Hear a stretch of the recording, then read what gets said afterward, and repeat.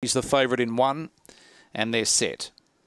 Ready, Racing. Rampani began okay, wanted to get up the track, but is going to try and hunt through on the inside of Refund Tux, who now crosses, goes the lead. Rampani goes to second. Following it through was Scout About, and then followed by Ash the Flash, who's got Cruise. Last of all was Jumpin' Jules down the back, and Rampani kicked up on the inside of Refund Tux and took the lead back. In third place was Scout About, four lengths behind them, Ash the Flash, and who's got Cruise, but off the back, and it's Rampani the leader, out by a length and a half on Scout About, who runs well into second, but in the straight, Rampani the favourite wins by a length and a half. Scout About, third across the line, Refund Tux. Fourth tight, Ash the Flash or Who's Got Cruise. Last in was Jumpin' Jules, and they've stopped the clock at a time of 29.99.